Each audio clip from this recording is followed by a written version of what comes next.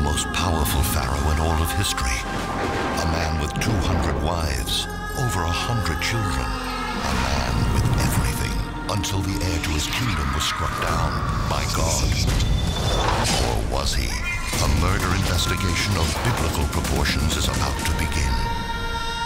Ramesses, Wrath of God or Man, tonight at 9. Exclusively on the Discovery Channel.